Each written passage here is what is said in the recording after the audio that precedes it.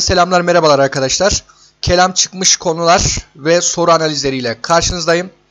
Ee, bu çalışmamızda 2013 ile 2020 yılları arasında çıkmış bütün soruların e, konu dağılımlarını ve analizlerini yapacağız. Bu çalışmayı yaptıktan sonra ÖSYM'nin kelama dair soru formatı nedir? ÖSYM sıkça nerelerden soru sormuş? Hangi kavramlar üzerinde sıkça durmuş? Bunu fark edeceğiz. Ee, alanıma başlamadan önce bir tavsiyede bulunayım arkadaşlar. Dört alan dediğimiz e, kelam, efendime söyleyeyim din felsefesi, İslam felsefesi ve mezhepler tarihi. Bu dört alana birlikte çalışmanızda fayda var arkadaşlar. Çünkü bu alanlar birbirlerinin tamamlayıcısı niteliğinde. İslam mezhepleri tarihine başlarsınız. E, ardından kelam öğrenirsiniz. Ardından din felsefesi öğrenirsiniz. Ardından kelam öğrenirsiniz. Ve sınavın e, dört kapsamını da e, birlikte bir potada eriterek arkadaşlar güzel sonuçlar elde edebilirsiniz. Çünkü e, özellikle mesela din felsefesi, İslam felsefesi ve kelam e, açısından konuşmam gerekirse burada arkadaşlar ortak konular var, kesişen konular var. Mesela e, ne söyleyebilirim? Vahiyinin muhtevası, gerekliliği ya da efendime söyleyeyim e, bunun mümkün olup olmayışı. Özellikle Allah'ın varlığına ilişkin sunulmuş deliller. Arkadaşlar bu konular genellikle kelamda, din felsefesinde ve İslam felsefesinde kesişen konular. Yani kelamdan gelmese din felsefesinden, din felsefesinden gelmese İslam felsefesinden kesinlikle soru gelir. Ve aynı zamanda arkadaşlar bu konulara e, kümülatif bir şekilde e, ve belli bir litürji içerisinde yani sıralama içerisinde çalışırsanız birbirini tamamlayan öğrenmeler elde edebilirsiniz diyebilirim arkadaşlar. Kelamdan bahsedeyim biraz. Arkadaşlar kelam İslam'ın inanç esaslarını ve itikadi konuları soyut yani metafiziğe dair konuları felsefi bir zeminde tartışan belli istidlal dediğimiz akıl yürütme yöntem ve metotlarını kullanan bir ilim dalıdır arkadaşlar. Özellikle kelam ilmini İmam Gazali entelektüel bir ilim olduğunu ve dolayısıyla avvama yani halka öğretilmemesi gerektiğini düşünmüştür arkadaşlar. Kelam ilminin doğmasında birçok faktör olmakla beraber özellikle Müslümanların felsefenin etkisinde kalarak oluşmuş bir ilimdir ve bu ilmin öncüleri İslam akılcılığının temsilcileri olan e, Mutezile diyebiliriz arkadaşlar. Şimdi 2013 yılından başlamak suretiyle çıkmış sorularımıza bakalım. Yeri geldiğinde seçeneklerdeki bazı kavramları da e, ele almaya çalışacağız arkadaşlar. Umarım e, uzun bir video olmaz ama yani gerçekten videoya başladığım zaman videonun ne kadar süreceğini tahmin edemiyorum. E, doğaçlama bir şekilde gittiğimiz için arkadaşlar aslında pek bir plan program sadece slide hazırlarken bir plan program söz konusu oluyor. Ancak dersin akışı içerisinde aklıma farklı şeyler gelip onlardan da bahsettiğim olabiliyor arkadaşlar. E, lütfen e, bir saatlik videolar arkadaşlar uzunmuş izlemeyim gibisinden düşünmeyin. Geriye yaslanın kahvenizi çayınızı alın. E, kahvenizi çayınızı yudumlarken bu videoları da izlemenizde yarar var arkadaşlar. Dersi mümkün olduğunca sıkıcılıktan ve e, banellikten kurtarmaya çalışıyorum ama aklıma da aslında e, farklı bir içerik gelmiyor. O yüzden bu formatta devam edeceğiz ama aklıma yeni şeyler geldikçe de tabii içeriği zenginleştirmek açısından bunları da yapmaya gayret göstereceğim arkadaşlar. Evet. Bu arada arkadaşlar e, birkaç arkadaşımız Instagram'dan yorum yapmış. Hocam neden ders anlatırken aşağıya bakıyorsunuz diye. Arkadaşlar şu kısma bakıyorum. Çünkü görüntüm sağ alt köşede olduğu için yani bu tarafa bakıyorum. E, mümkün olduğunca dersi interaktif kılmak açısından kameraya bakmaya çalışacağım bu dersimizde arkadaşlar. Evet başlayalım. E, 2013'te gelmiş bir sorumuz var. Aşağıdakilerden hangisi eşariler tarafından sıfatlar arasında sayılmamıştır? Doğrudan bilgi sorusu arkadaşlar ve konumuz Allah'ın sıfatlarına ilişkin. Sık sık sorulmuş arkadaşlar. Bakın lütfen dikkat edin. Allah'ın sıfatları önemli. Hatta ilerleyen sorularda göreceğiz. Acayip bir çeldirici soru gelmiş arkadaşlar. Onda yeri geldiğinde tabii ki de söyleyeceğiz. Ee, eşarilerin özellikle e, sıfat olarak kabul etmedikleri arkadaşlar sıfatımız şuradan keçili kalemimi de açayım. Tegvin sıfatıdır ya da e, vurgulayıcıyı açayım o daha kalın gösteriyor. Evet. Bunun rengini değiştirmeyeyim. Şöyle şöyle yaptım. Ha tamam oluyor. Arkadaşlar tekvin sıfatını eşariler yani müstakil bir sıfat olarak kabul etmezler. Yani bağımsız bir sıfat olarak kabul etmezler. Neden? Tekvin yani yaratma sıfatını Allah'ın zaten kudret sıfatıyla yerine getirdiğini söyledikleri için tekvin sıfatını düşürmüşlerdir. Maturidiler bu sıfatı e, kabul ediyorlar arkadaşlar. Ve özellikle Allah'ın subuti sıfatlarından bu sıfatları kısaca bir sayalım. Hayat, diri ve canlı olması anlamanız açısından kısa yazmaya çalıştım. İlim arkadaşlar Allah'ın her şeyi bilmesi anlamına geliyor. Semi namazda da söylenen e, Semi Allahü limen hamide. Allah e, şükredenleri duyar. E, semi ne demek? Her şeyi duyması. Basar. E, gündelik Türkçemizde de kullanıyoruz arkadaşlar. Mesela bir kaza olur ve kaza sedeye sorulur. Nasıl oldu kaza? Vallahi bir anda basiretim bağlandı göremedim der. Yani görüşüm bağlandı anlamında arkadaşlar. Basar görmek demek. Allah'ın her şeyi görmesi. Tabi ben bunları slaytta fazla yer kaplamaması açısından böyle kısa kısa yazdırdım. Bunları bilin ki arkadaşlar Allah bu sıfatları yerine getirirken hiçbir vasıtaya ve araca ihtiyaç duymaksızın ve e, sınırsız bir şekilde yerine getirir. Yani Allah'ın her şeyi bilmesi her şeyi kapsar. Duyması her şeyi kapsar. Görmesi her şeyi kapsar. Kudret Allah'ın gücünün yetmesi, irade ise Allah'ın dilemesidir arkadaşlar.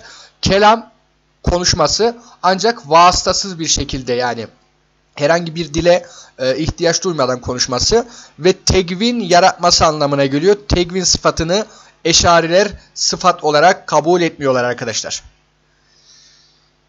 Evet. Bir sonraki sorumuz Allah'ın her türlü eksikliklerden ve noksanlıklardan uzak olduğunu ifade etmek için e, kullanılan terim aşağıdakilerden hangisidir? Arkadaşlar tenzih ederim.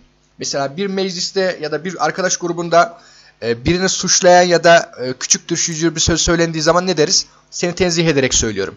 Dolayısıyla bu tenzih kelimesi de aslında gündelik Türkçe'de kullandığımız anlamıyla hemen hemen aynı. Peki ne anlama geliyor? Allah'ı bütün eksikliklerden ve noksanlıklardan e, ne yapmak?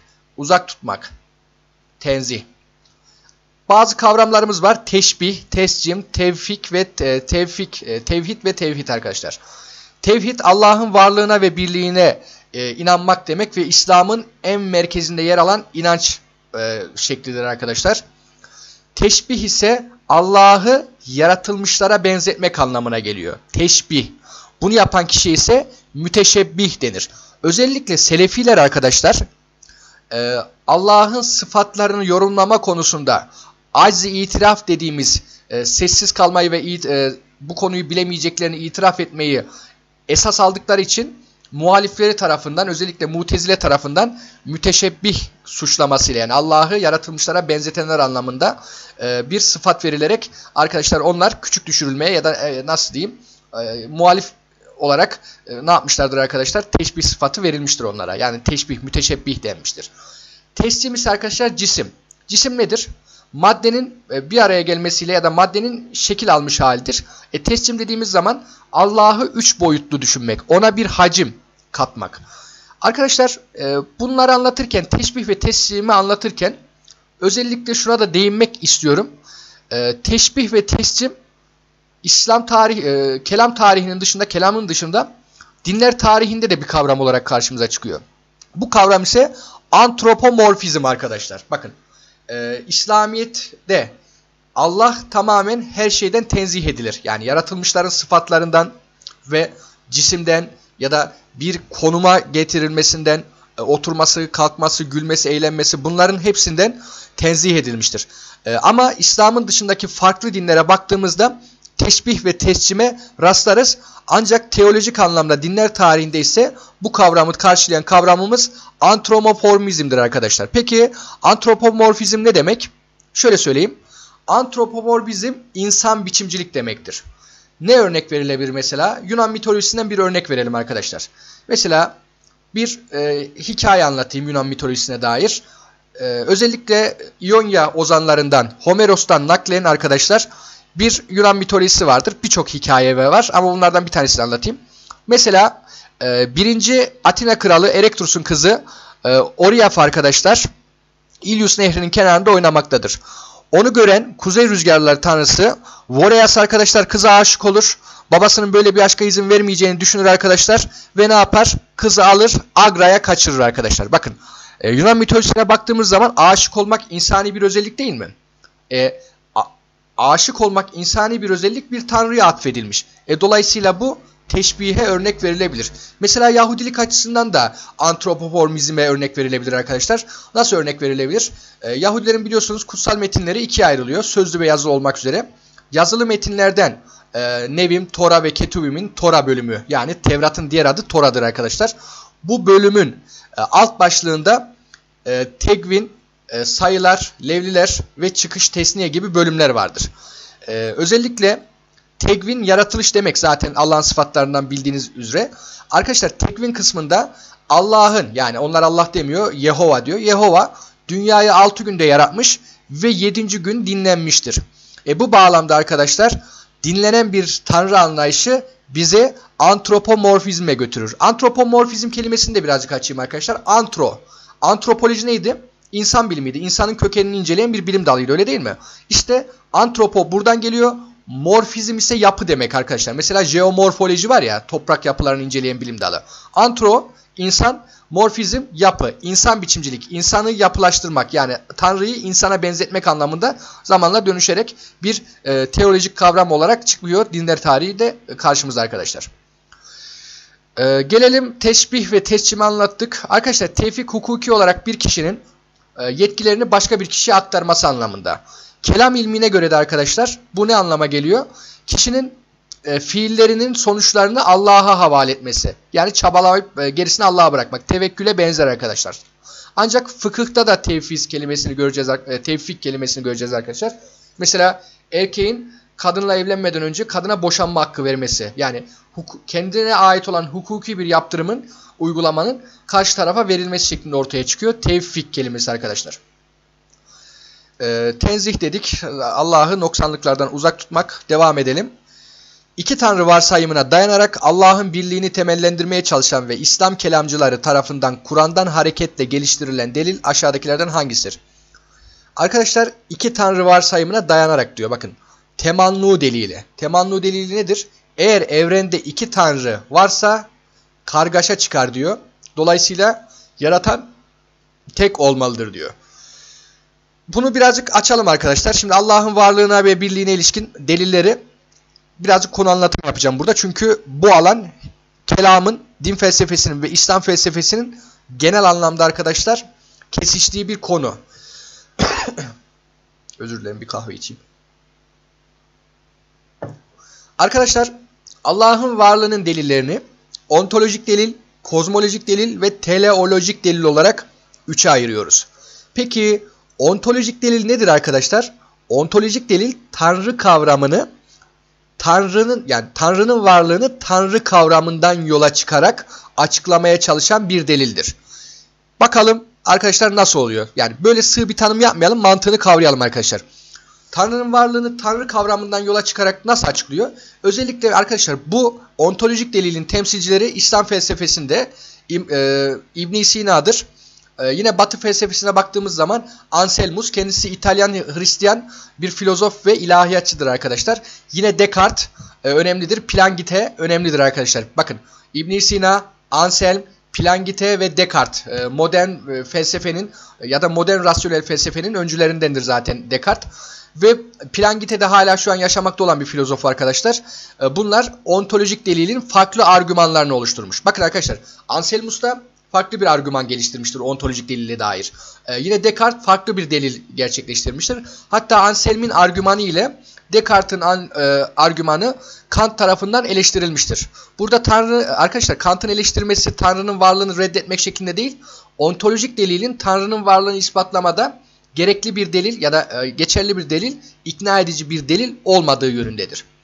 Şimdi lütfen dikkat dinleyin. E, dikkatle dinleyin. Anselmus yani Anselm arkadaşlar Tanrı'nın varlığını kavramsal olarak Tanrı kavramından yola çıkarak nasıl ispatlamaya çalışmış?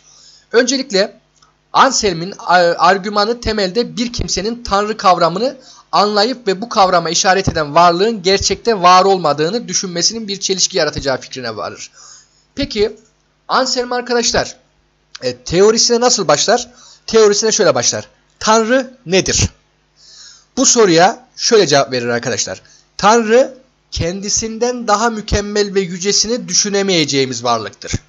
Aslında Anselm'e göre arkadaşlar bu kavram inansın veya inanmasın herkes için aynıdır arkadaşlar. Yani kavramsal olarak bir ateist de düşünce olarak arkadaşlar evet Tanrı'nın daha yücesi e, düşünülemeyecek bir varlık olduğunu e, kabul eder. Ancak bunun gerçekte olamayacağını söyler. İşte arkadaşlar burada Anselmus diyor ki inanmadığı halde yani Tanrı fikrinin kendisinden daha yüce bir varlık düşünülemeyeceğini düşüncede kabul eden ancak bunu gerçekte reddeden bir insan içine düşmüş olduğu çelişkinin farkında değildir. Çünkü düşüncede kendisinden daha yüce bir varlığın düşünülemeyeceği varlığını e, kavrayan bir insan gerçekte e, bunu reddettiği zaman bir çelişki ortaya çıkar ki bu çelişki şudur diyor arkadaşlar. Düşünün ateistsiniz evet e, kendisinden daha yüce düşünülemeyen bir varlığa tanrı denir. Kavramsal olarak düşüncede budur. Ama bu tanrı gerçekte yoktur diyor. İşte bu çelişki şuradan çıkıyor arkadaşlar. Kendisinden daha yüce varlığı düşünemeyeceğimiz tanrı varlık dünyasına çıkamayıp sadece düşüncede kalırsa ondan daha yüce bir varlık çıkacaktır ki bu da kendisinden daha yücesini düşünemeyeceğimiz tanrının gerçekte de var olması. Dolayısıyla sadece düşünceden ibaret olan tanrı gerçekte olan tanrıdan daha düşük bir konumdadır. Bu bağlamda bu çelişki de doğru olamayacağı için yani böyle bir çelişkinin doğru olması söz konusu olamadığından arkadaşlar Tanrı fikrini kabul etmek hiç de akıl dışı değil rasyonel bir düşüncedir. Bakın tekrar edeyim. Ne diyor arkadaşlar? Biz sadece Tanrı'nın varlığını düşüncede, zihinde düşünürsek ve bunun gerçekte olmadığını iddia edersek burada bir çelişki var. Çünkü sadece düşünceden ibaret olan Tanrı, Tanrı'dan daha yüce bir varlık varsa bu Tanrı'nın gerçekte de var olması bir çelişki doğru olamayacağından için Tanrı varlığı, Tanrı varlığı su götürmez bir gerçektir ve rasyoneldir diyor arkadaşlar. Umarım anlatabilmişimdir. Ee, ontolojik delil arkadaşlar aslında anlamaktan daha zor anlatmaktı. Yani umarım aşağıya yorum yapabilirsiniz hocam anladık falan diye. Ee, şöyle bir şey de açıklayayım arkadaşlar. Ontolojik delilde bakın alemden, evrenden, kainattan bahsedilmez. Size ÖSYM bir paragraf verir ve bu paragrafta arkadaşlar size cümleler içerisinde şunlar yazar. Evren, kainattan falan bahseder. Aşağıdakilerden hangisidir dediği zaman arkadaşlar ontolojik delili direkt elersiniz. Çünkü ontolojik delil olamaz. Yani doğrudan Tanrı kavramını Tanrı'nın gerçekliğinin e, rasyonel olacağını açıklamaya çalışıyor. Yani Tanrı'yı ispat etmek için Tanrı kavramından yola çıkıyor. Ve kozmolojik delil arkadaşlar. Bakın kozmolojik delil ikiye ayıracağız. İmkan delili ve hudus delili arkadaşlar. Tamam mı? Kozmolojik delilde alemin varlığından yola çıkarak açıklamaya çalışıyor. Peki alemin varlığından yola çıkarak ne? Öncelikle bir alem nedir onu öğrenelim arkadaşlar. Alem ne demek? Alem yaratıcının dışındaki her şeye alem diyoruz. Peki bu alemin e, ispatlanması ya da alemden yola çıkarak e, yaratanı ispatlamak nasıl gerçekleşiyor? Buna da değinelim. Arkadaşlar imkan deliline göre kainattaki varlıklar mümkün varlık ve zorunlu varlık olmak üzere ikiye ayrılır, ayrılır diyor. Mümkün varlıklar varlığı ve yokluğu düşünülebilen varlıklardır. Varlığı ve yokluğu düşünülebilen varlıklar mutlaka yokluğu düşünülemeyen bir varlıkların yaratması sonucu oluşması gerekmektedir diyor. Zaten mümkün varlığı ve yokluğu mümkün varlıklar e, varlığına ve yokluğuna karar veremeyeceği için bu kararı verecek yüce bir yaratıcı olmalıdır diyor arkadaşlar. Bu da yüce yaratıcının kendisidir. Mesela Mevlana Celaleddin Rumi'ye atfedilen bir rübai var bir dörtlük. Diyor ki e, sanırım Mevla, e, Mevlana galiba bu şiiri not isteyen bir öğrencisine yazmış olmalı. Sözleri şöyle arkadaşlar. Yüzde ısrar etme 90 da olur. İnsan dediğin 90 da olur. Sakın övünme elde neler var. Bir ben varım deme yoksan da olur. Bakın bir ben varım deme yoksan da olur derken aslında imkan deliline vurgu yapıyor Mevlana. Yani sen insansın varlığın ve yokluğun birbirine denk. Mesela 20 yaşındaysan 21 yıl önce yoktun. Yani biz senin yokluğunu düşünebiliyoruz. Ancak sen varlığın ve yokluğun düşünülebilirken seni yaratan ve varlığı ve yokluğu e, yokluğu düşünülemeyen bir varlık vardır. O da yüce yaratıcının kendisidir. Kibirlenme senin varlığın ve yokluğun düşünülebilir ancak yüce yaratıcı vardır demek istiyor arkadaşlar. E, hudus delili var arkadaşlar. Hudus deliline göre şöyle bir muhtevası var hudus delilinin. Evrendeki iki tip varlık vardır. Bu tip e, iki tip varlığın birincisi sonradan meydana gelen hadis varlıklardır. Zaten hadis varlık sonradan meydana gelen varlıklara işaret eder arkadaşlar. İkinci olarak da hadis varlıkları meydana getiren muhdis varlıklar vardır. Bu muhdis varlıklar hadis varlıkları meydana getirmiştir. Mesela masa marangoz ilişkisi, resim ressam ilişkisi bunun güzel bir örneğidir. Ancak genel anlamda düşünüldüğümüz zaman bu alem sonradan meydana gelmiştir. Bu aleminde bir muhtisi meydana getireni bulunmalıdır diyor. Bu da yüce yaratıcının kendisidir fikrini savunuyor arkadaşlar. Evet sorumuza bir dönelim arkadaşlar. E, gaye ve nizamı gördük. E, hudus delilini gördük. İmkan delilini gördük. Arkadaşlar bir de e, teleolojik delilimiz var. Bakın e, teleolojik delilden de bahsedeyim. Kozmolojik delilden farkı teolojik delilin alemden değil alemin içindeki tasarımdan yola çıkan delildir. Yani bu deliller hani şöyle derler ya e, espri mahiyetli. Allah yoksa şu karşıki dağları kim yarattı? Bu tattaki delillerdir arkadaşlar. Alemden değil alemin içeriğinden yola çıkarak buradaki tasarımlardan bahsediyor. Mesela nizam ve gaye, alemin düzenliliği ve amaçlılığı. Ne örnek verilebilir arkadaşlar? Amaçlılık derken nedir? Bütün canlılar bir amaça hizmet etmek için yaratılmış. Yani dikkat ettiğimiz zaman mesela bir sivrisinek bile arkadaşlar bir amacı vardır. Öyle değil mi? Ekolojik sistem içerisinde bir dengesi vardır. Mesela e, suya larvalarını bırakıyorlar ve bu larvalar suyun içerisinde bulunan algleri çekerek besin paketi haline getiriyor. Ve bu da balıklar algleri doğrudan tüketemeyeceği için bu larvaların içinde bulunan algleri yumurtaları yiyerek tüketiyorlar. Mesela bu da suyun alg dengesini sağlayarak yosunlaşmasını önlüyor ve suyun içerisindeki balık popülasyonu için bir hareket alanı sağlıyor. Bakın bir sivrisineğin bile ekolojik denge içerisinde önemli bir konumunun olduğunu fark ettik. Ee, işte bunun tesadüfen meydana gelemeyeceğini söylüyor arkadaşlar gaye ve nizam delilinde. Nizamda da arkadaşlar mesela gecenin gündüzün ard arda gelmesi, evrendeki mevsimlerin değişmesi, sürekli bir ahengin olması nizam delilinin örneği. İnayet delili arkadaşlar İslam felsefesindeki önemli öncülerinden bir tanesidir inayet. İbni Rüşd. Ne diyor arkadaşlar? Bu alem ya da bu dünya içerisindeki canlıların yaşayabileceğine dair uygunluk içerisinde yaratmıştır. Yaratılmıştır. Bu tesadüfen olamayacağı için bu uygunluk mutlaka bizi yüce bir yaratıcıya götürmesi gerekir diyor. Evet devam edelim. Evet şimdi ne gördük? Ontolojik delili gördük. Kısaca bahsedeyim. Tanrı e, varlığını, Tanrı kavramını ispatlamakla e, yola çıkıyor. Kozmolojik delil alemin varlığından, teleolojik delil de alemin iş düzeninden yola çıkıyor dedik. Burayı geçtik arkadaşlar. Ve e, Maturidi'nin nübüvvet anlayışıyla ilgili bir soru gelmiş. Bu parçada Maturidi'nin aşağıdakilerden hangisini temellendirdiği söylenebilir. Maturidi haram ve helali kendisinden veya başkasından kaynaklanan nitelikler üzerinde değerlendirir. Ona göre zulüm lizatihi haramdır. Yani kendisinden haramdır. Ve her ne suretle olsun kötüdür. Domuz etinin yenilmesi ise arkadaşlar haram lizatihi değil haram li gayrihi. Yani kendisinden değil de başkasının bildirmesiyle bileceğimiz haramlardır. Li gayrihine olanlar ise çok sayıda e, alternatif söz konusu olduğu için bu alternatifler arasında hangisinin insan için uygun olacağı yalnızca Allah'ın bildirmesiyle anlaşılır. Peki Allah nasıl bildirir? Peygamberler vasıtasıyla insanlara tebliğ ederek. Adam ne yapmaya çalışmış arkadaşlar Maturidi? Nübüvveti ispatlamaya çalışmış. Ya da nübüvvet anlayışını, peygamberlik anlayışını ispatlamaya çalışmış. Yani Maturidi diyor ki haram lizatihi olan yani doğrudan kendisi haram olan şeyler insan aklıyla bilinebilir. Bu konuda bir sıkıntı yok. Ancak diyor bazı haramlar da vardır ki insan aklederek bunun haram olduğunu anlayamaz. Bu haramlar haramli gayrihidir. Yani kendisinin dışında haram olan şeylerdir. Mesela domuz etinin yenmesi. Ee, mesela kanın içilmesi.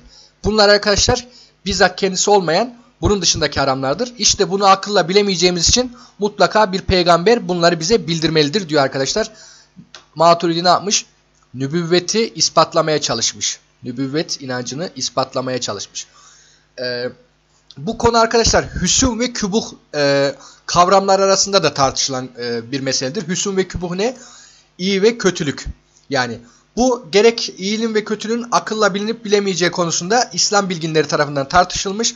Mesela Maturidi bu konuda aklın e, ön planda tutarak hüsüm ve kübuh akılla bilinebilir demiş. Ancak arkadaşlar eşarilere göre hüsün ve kübuh ancak ve ancak nakille yani Allah'ın bildirmesiyle, e, vahiy bildirilir, e, anlaşılabilir diyor. Ve nübüvvetin vaciplik konusunda. Arkadaşlar nübüvvet vaciptir diyor Mutezile. Bakın Mutezile sorularında arkadaşlar kesinlikle ve kesinlikle bakış açınız şu olmalı. E, Mutezile'nin ilkelerini öğrenin. Adalet kapsamı içerisinde değerlendirin. Mutezile diyor ki E, bir de mutezile arkadaşlar biliyorsunuz Allah'a vaciplik kılan bir kesimde. Yani bazı şeyleri Allah'a zorunlu kılıyordu ve ehli sünnette Allah'a hiçbir şeyin zorunlu kılamayacağını, Allah'a bir şeyleri zorunlu kılmanın Allah'ın uluhiyetine aykırı bir davranış olduğunu söyleyerek e, ne yapıyordu arkadaşlar? Mutezile'yi eleştiriyordu. Mutezile diyor ki Allah kullarını sever ve onlar için en güzel ve en iyisini yaratmaya çalışır. Bu onun adaletinin bir gereğidir.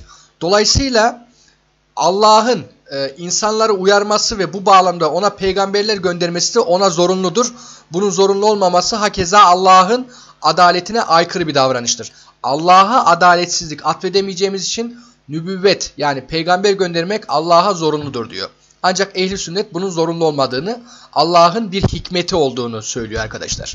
Özellikle hikmet kavramı üzerinde duran kişi maturididir arkadaşlar. Ve devam ediyoruz. Şurada atladığımız bir şey var mı? Yok. Bu ayetlerde Yüce Allah'ın aşağıdakilerden hangisi sıfatından söz edilmektedir? Onun bir benzeri yoktur. Arkadaşlar muhalefetün lil havadis. Yani Allah'ın eşinin ve benzerinin olmaması. O doğurmamış ve doğrulmamıştır. Onun hiçbir dengi yoktur. Bu ayetlerde Yüce Allah'ın hangi sıfatına değinilmiş? Allah'ın eşinin ve benzerinin olmaması. Neydi arkadaşlar? Muhalefetün lil havadis. Değil mi? Ee, Allah'ın zati sıfatlarını konu anlatımda diyeceğim. Video uzun... Ha, e, yani şurada şu an değineceğim arkadaşlar. Video biraz uzarsa keserim. Ee, şu an e, ne yapacağımı tam olarak kestiremedim. Yani şöyle e, belki videoyu iki, ikiye ayırırım. 25'er 25'er dakika ya da 30'ar 30'ar dakika bir şekilde yüklerim. Videoların komple bittikten sonra. Bu da sizin için daha en azından göz korkutucu olmaz arkadaşlar. Şimdi Allah'ın sıfatlarını biz dört başlık altında toplayacağız. Selvi sıfatlar yani zati sıfatlar ya da tenzihi sıfatlar da denir buna. Bakın selvi sıfatlar, tenzihi sıfatlar ve zati sıfatlar aynı anlamında. Bir de subuti sıfatlarımız var. İnsanda da subut eden yani insanda da olan anlamında. Bir de fiili sıfatlarla haberi sıfatlarımız var. Selbi sıfatlar nedir? Arkadaşlar selbi sıfatlar genellikle Allah'ın ne olmadığını gösteren sıfatlardır. Allah'ı tenzih eden. Neyden tenzih eden? Diğer varlıkların özelliklerinden tenzih eden sıfatlardır. Ve genellikle bu sıfatları biz olumsuzluk e, ekleriyle tanımlarız. Mesela ne deriz? Muhalefetünül havadise Allah'ın eşinin ve benzerinin olmaması. Mesela ne deriz arkadaşlar? Kıyam bir nefsiye hiçbir şeye muhtaç olmaması. Ne deriz vücut sıfatına arkadaşlar? Allah'ın varlığının zorunlu olması ya da kıdem başlangıcının olmaması, beka sonunun olmaması. Bakın genellikle selbi zati sıfatlar olumsuzlukla nitelendirilir çünkü tenzih etmek amaçlı yapılmıştır diyebiliriz arkadaşlar. Vücut sıfatı Allah'ın var olması ve varlığının zorunlu olması. Kıdem sıfatı arkadaşlar Allah'ın varlığının başlangıcının olmaması, beka sonunun olmaması, muhalefetün dil havadis eşinin ve benzerinin olmaması, kıyam bir nevsihi, kıyam ayakta durmak. Şöyle kodlayın ya da şöyle anlayın. Allah kıyam da durabilir. Yani hiç kimseye muhtaç olmadan da tek başına var olabilir, ayakta durabilir. Çünkü kimseye muhtaç değildir diyebiliriz arkadaşlar. Tenzih ederek söylüyorum tabi. Sembolik kullandığım ifadeler. Vahdaniyet. Arkadaşlar vahdaniyette 2, 3 ve 4. harflere dikkat edin. AHD, ehad kelimesinden türemiştir. Yani tek olması. Subuti sıfatlar hayat, adı üzerinde diri ve canlı olması. Arkadaşlar subuti sıfatlar Allah'ta bulunmakla beraber insanda da bulunan ancak Allah'ta külli yani genel ve sınırsız, insanda cüz'i bulunan sıfatlardır. Diri ve canlı olması insan fani ama bir hayatı var. Ama Allah arkadaşlar tamamen diri ve canlıdır ve e, sonsuza dek de yaşayacaktır. Yani var olacaktır öyle söyleyeyim. İlim her şeyi bilmek. Semi, Semi Allahü limen hamide. Allah şükredenleri duyar. Yani semi duymak demek. Basar, basiretin bağlandı. Göremedim bir anda. Basar, Allah'ın görmesi demek. Kısaca yazdım ki e, slaytımıza fazla yer kaplamasın. Kudret, gücünün yetmesi arkadaşlar. Güç anlamında. İrade, dilemek, kelam, konuşmak, Tegvin yaratmak unutmayın. Eşariler tegvini sıfatlardan saymıyor arkadaşlar. Ve gelelim fiili sıfatlara. Allah'ın alemle ilişkisini ortaya koyar. Mesela Allah'ın alemle ilişkisini ortaya koymak ne demek? Allah insanları rızıklandırır. Ee, gece gündüzü yaratır. Halk, hulk diye de nitelendirilir. Ya da ne yapmak? El rezak, rızık veren anlamında. Bakın fiili sıfatlar Allah'ın alemle ilişkisini ortaya koyar. Dikkat edin. Allah'ın alemle ilişkisini ortaya koymak arkadaşlar deizmede reddiye niteliğindedir. Çünkü fiili sıfatlarla biz Allah'ın aleme sürekli ilişkide bulunduğunu, müdahale ettiğini görüyoruz. Fiili sıfatları reddetmek insanı deizme götürür. Yani evrene müdahale etmeyen bir tanrı anlayışına götürür arkadaşlar. Gelelim haberi sıfatlar. Bu arada daha az önce bahsettiğim şekilde arkadaşlar yorum sorularda gelir. Buna dikkat edelim. Haberi sıfatlar arkadaşlar Allah'ın haber verdiği ancak keyfiyetini tam olarak anlayamadığımız Allah'a mesela istiva, arşa mesela Allah'ın arşa istiva etmesi. Veç, yüz demek, yat, el demek. Allah'ın eli onların elinin üzerindedir. Ya da Allah'ın arşa istiva etmesi gibi bu sıfatlar arkadaşlar haberi sıfatlardır. Haberi sıfatları ehli sünnet ve mutezile aslına uygun olarak tevil etmiştir. Ancak ehli sünnetin içerisinde bir grup, selefiye dediğimiz grup arkadaşlar, e, tevilin e, yanlış olduğunu ve dolayısıyla bu sıfatların keyfiyetini bilmeyeceğimiz bir şekilde olduğunu kabul ederek bunları tevil etmenin yanlış olduğunu söyledikleri için muhalifleri tarafından özellikle mutezile e, ve arkadaşlar bu gruplar tarafından teşbih ve tescimle e, itham edilmelerine sebep olmuştur. Bu dolay, bundan dolayı arkadaşlar selefilere müteşebbih yani Allah'ı yaratılmışlara benzetenler ve arkadaşlar e, mütecessim Allah'ı cisimlere benzetenler.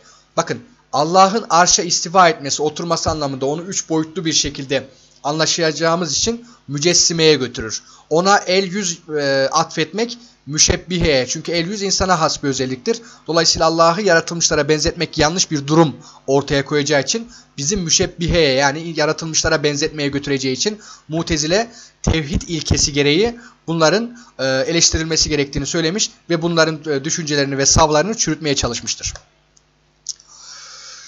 Bu düşünceden hareket edildiğinde aşağıdaki yargılardan hangisine ulaşılabilir nübüvvetin delilleri?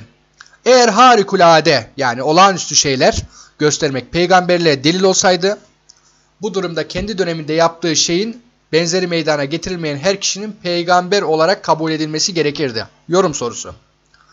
Bu düşünceden hareketle aşağıdaki yargılardan hangisine ulaşılabilir demiş. Peygamberlik bir iman meselesidir. Hayır. Her topluma bir peygamber gönderilmiştir. Hiç alakası yok.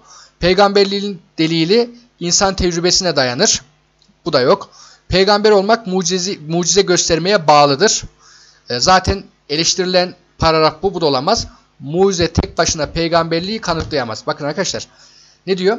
Eğer harikulade bir şeyler göstermek peygamberliğe delil olsaydı tek başına diyor. O zaman kendi dönemlerinde bu işleri yapan kişiler peygamber olarak kabul edilirdi. Demek ki sadece yeterli değil, tek başına yeterli değil. Edirne'ye uzanırız arkadaşlar. Cevabımız Edirne. Güzel bir yorum sorusu ve kolay bence. Ancak e, peygamberlik bir iman meselesidir de çeldirici olabilirdi arkadaşlar. Dikkat etmeyenler için. Yani acaba paragrafta peygamber için peygamberi kabul etmemiz için illa mucize mi e, göstermek gerekiyor? Bu bir iman meselesidir diye A şıkkına da gidebilirdik. Ve 2014 maturidilik kaza ve kader ve insanın fiilleri sorulmuş. Arkadaşlar Maturidilere göre bir fiilin Allah'a ve insana bakan iki yönü vardır. Allah'a ait olanı yaratmak yani halk, insana ait olanı yapmak kesp yani kesptir. Bir fiilin Allah tarafından yaratılmış olması tercihlerin belirlenmesinde Allah'ın sevk edici ve zorlayıcı olduğu anlamına gelmez. Arkadaşlar maturidilerin insan fiilleriyle ilgili bu görüşü aşağıdaki kavramlardan hangisiyle e, ifade edilmiştir? Maturidilerin arkadaşlar bu e, ifadesi yani insana ait fiil cüzi irade olarak nitelendirilir. Çünkü e, arkadaşlar kader ve insan fiilleri konusunda Maturidi cüzi irade ve külli iradeden bahsetmiş. Allah'ın iradesini külli irade, insanın cüzi iradesi olarak da yani insanın iradesini cüzi irade olarak görmüşler. Ve insan bu iradeyi ortaya koyuyor ve Allah külli iradesiyle buna izin veriyor ve bu fiili yaratıyor denmiştir. Burada soru olarak beklediğim bir e, kavram var. Bu kavramımız cebri mutavassıt arkadaşlar. Cebri mutavassıt eşarilerin insan fiillerinin e, insan fiillerine yapmış olduğu bakış açısıyla ne yapmışlar arkadaşlar? Cebri mutavassıt olmakla suçlanmışlardır. Kim tarafından? Mutezile. Çünkü arkadaşlar eşariler özellikle kesp teorisini geliştirerek ne yapmışlardır? İnsanın fiillerinin Allah tarafından yaratıldığı fikrini savmuşlardır. Bu yüzden de kendilerine tam olarak cebriye denilmemiştir. Ancak ılımlı cebirciler anlamında yani cebriye neydi biliyorsunuz? Allah'ın tamamen insanın e, özür dilerim. insanın tamamen Allah'ın kaderi doğrultusunda e, hayatını yaşadığı, bunun dışına çıkamayacağını savunan bir ekoldü cebriye. E, ancak eşarilerin de tamamen cebirci olmadıkları için arkadaşlar kendilerine ılımlı cebirciler anlamında cebri, cebri mutavassıt ünvanı verilmiştir. Soru olarak gelme ihtimali var. Çünkü e, bir önceki sınavlarda seçeneklere konulan yanlış bir şıkkın bir, sene, bir yıl sonra ya da birkaç yıl sonra soru olarak geldiğini görüyoruz arkadaşlar. Ebu Hanefi, özür dilerim, Ebu Hanife aşağıdaki görüşlerden hangisi dolayısıyla irca fikrini benimseyenler arasında gösterilmiştir?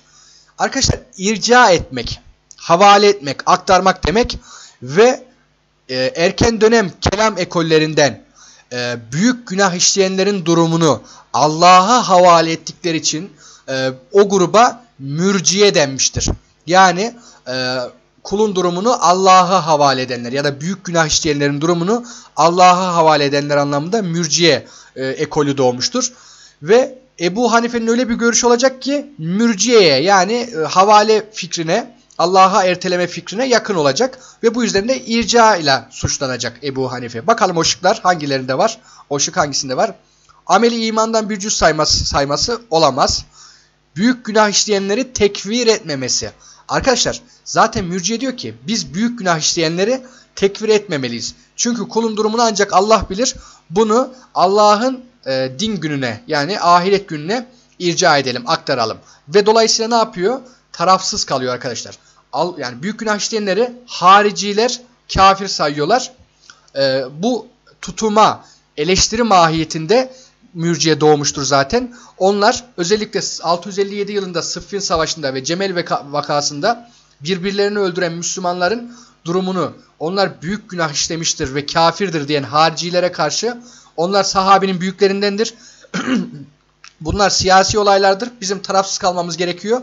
Onların durumunu Allah'a havale etmemiz gerekiyor diyerekten irca fikrini ilk ortaya koyan mürci olmuştur. Zaten irca eden anlamındadır mürciye. Çünkü irca fiilinin e, faili mürciyedir arkadaşlar. Değil mi? Ee, evet devam edelim. Bu yaklaşım aşağıdaki kelam nazariyelerinden hangisiyle açıklan, açıklanmıştır? Neden ile sonuç arasında zorunlu bir ilişki yoktur. Örneğin ateşin pamuğu yakması bizzat yaratıcının ateş ile pamuğun yan yana getirilmesi durumunda meydana getirdiği fiziksel bir hadisedir. Bu alemde bütün olgu ve olaylar için geçerli olan ilahi bir yasadır. Arkadaşlar cevher ve aras değil mi cevabımız? Şimdi açıklamalarını yapalım. Öncelikle e, burada geçen kavramları bir tanımlayalım. Arkadaşlar sebir ve taksim ne demek? Şöyle söyleyeyim. Sebir ve taksim bizim sınavlarda bilmediğimiz sorular karşısında yaptığımız metottur. Soru gelir bilemeyiz ancak bazı şıkları biliriz, eleriz. Eleme yöntemiyle tek seçeneğe düşürürüz öyle değil mi? İşte bu sebir ve taksimdir. Mesela e, Kur'an-ı Kerim'in de kullanmış olduğu metotlardan bir tanesidir. Tur suresinde mesela şöyle bir örnek var. Acaba onlar herhangi bir yaratıcı olmadan mı yaratıldılar yoksa kendileri mi yaratıcıdır? İki seçenek var. Ya insan yoktan var olmuştur, özür dilerim hiçbir yaratıcı olmadan var olmuştur ya da kendisi yaratıcıdır. Şimdi insana istidlal etmesi yani akıl yürütmesi istendiği için bu ayette insan şöyle bir düşünür, tefekkür eder bu ayet üzerinde. E ben yaratıcı olmadığıma göre o zaman beni yaratacağım, yaratan biri olmalıdır. Bakın bir şık eledi. Yani kendim var edem olmadığım için e, bir yaratıcı tarafından yaratılmış olmalıyım. Sebir ve Taksim. Bakın e, şöyle bir soru gelir arkadaşlar. Tur suresinin e, bu e, 4-5 tane ayet var. Tur suresinin bu ifadesi verilir.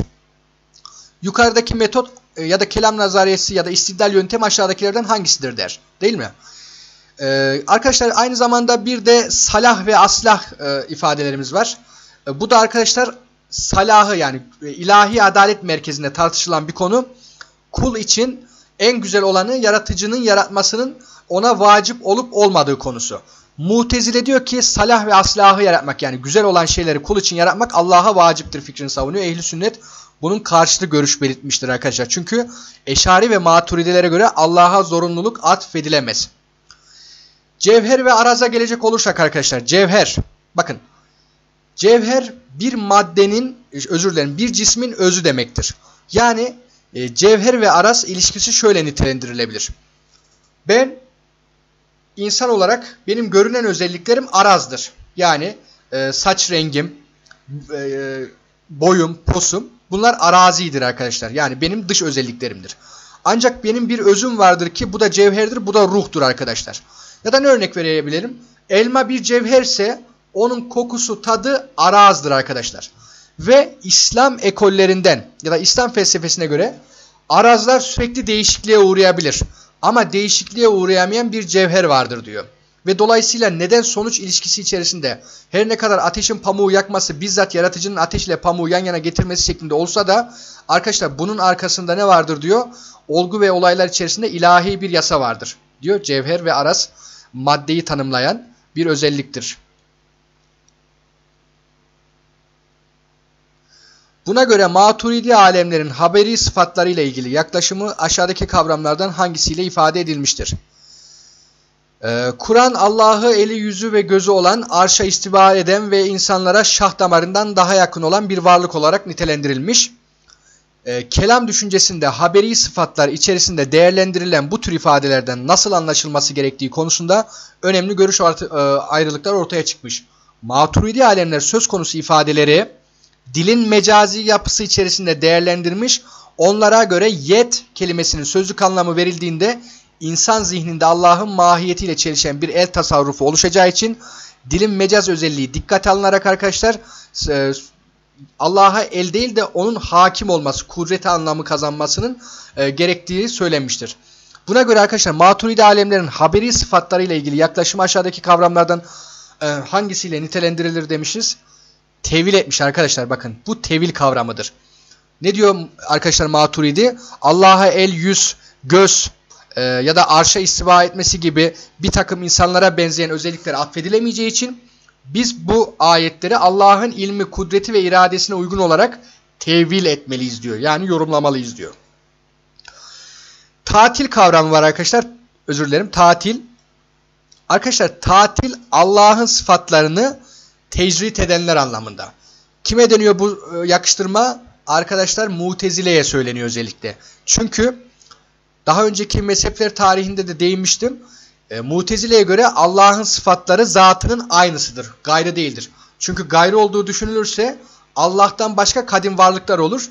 Dolayısıyla tevhid ilkesi gereği Mutezile'ye göre Allah'ın sıfatlarını zatın aynı olarak kabul etmek ve bu sıfatların Allah'ın içinde özünde saklı olduğunu kabul etmek gerekiyor diyor.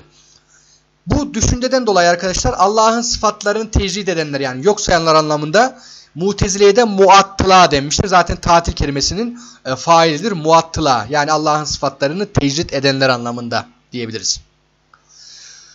Bu parçada anlatılanlar kelam ilminde aşağıdakilerden hangisiyle ifade edilmektedir? İnsan için en kötü şey Allah'ın onu lütfundan mahrum bırakması ve azgın dalgalar ortasında kaptansız bir tekne gibi kendi haline terk etmesidir. Böyle bir durum doğrudan Allah'ın yaratmasıyla değil, insanın özgür iradesiyle gerçekleştiği davranışların bir neticesi olarak gerçekleşir. Bakın Allah kişiyi yoldan çıkarmaz ya da doğrudan ona bir etki etmez. Ancak kişi bu şekilde davranarak arkadaşlar ne yapar? Allah'ın onu saptırmasının e, fiilin gerçekleşmiş olur diyor. Yani yoldan sapmak bir neden değil bir sonuçtur demek istiyor arkadaşlar. Nitekim Kur'an-ı Kerim'de Allah'ın ile ilişkisini kesen insanın dünyada e, dünya dünyada mutlu bir hayat yaşayamayacağı gibi ahirette de kör ve ilahi lütuflardan mahrum olarak haşredileceği bildirmekte. Allah'ı unutan ve bu yüzden Allah'ın da onları kendilerini unutturduğu kimseler gibi olmayın onlar yoldan çıkan kimselerdir denilmektedir. Bu parçada aşağıdaki kelam e, aşağı e, kelam e, ifadelerinden hangi hangi kelam e, ifadesi var diyor. Hidayet doğru yol demek arkadaşlar tamam mı? Ve tevfik kelimesi Allah'ın insanda irade gücü yaratıp onu kendi nefsine bırakmaması arkadaşlar. Hızlan ise Allah'ın günahkar kulundan desteğini çekmesi. Bakın hızlan neymiş? Allah'ın da onları kendilerini unutturduğu kimselerden olmayın. Yani azgın kulu, günahkar kulun Allah'ın ondan desteğini çekmesi anlamındadır hızlan. Tevfik ise Allah insanın Allah Allah'ın insanda bir irade gücü yaratıp onu kendi nefsine terk etmemesi olarak karşımıza çıkıyor. Hidayet Allah'ın doğru yol anlamında ya da Allah'ın e, kulunu doğru yola eriştirmesi anlamında. Bu da bir neden değil sonuç. Bu parçadan hareketle kelamla ilgili aşağıdakilerden hangisi söylenebilir? Gazali Mustafa adlı eserinde kelamın bütün ilimlerin prensiplerini ortaya koyduğu için külli bir ilim olduğunu, diğer İslam ilimlerinin ise kelama nispetle cüzi olacağını ve bundan dolayı kelamın en üstün ilim payesinde olduğunu savunmuştur. Ee, bu parçada hareketle kelamla ilgili aşağıdakilerden hangisi söylenir? Mevcudu konu edinmektedir. Tabudi bir ilimdir. Dini ilimlerin temelinde yer alır. Bakın Gazali'ye göre dini ilimlerin temelinde yer alır demek istiyor arkadaşlar. Zaten ifadede ne diyor? Ee, diğer ilimler cüz'i ilimlerdir ama nedir? Külli bir ilim olarak kelam diğer ilimlerin temelini teşkil etmektedir. Arkadaşlar videomuzu burada bitirelim. Ee, birazcık dinlenin. Bir çay kahve molası verin. İkinci videomuzu bunun arkasına tekrar yükleyeceğim. Ve çıkmış kelam sorularının çözümüyle ikinci videomuza devam edeceğiz arkadaşlar. Şimdilik iyi dersler. Kendinize iyi bakın.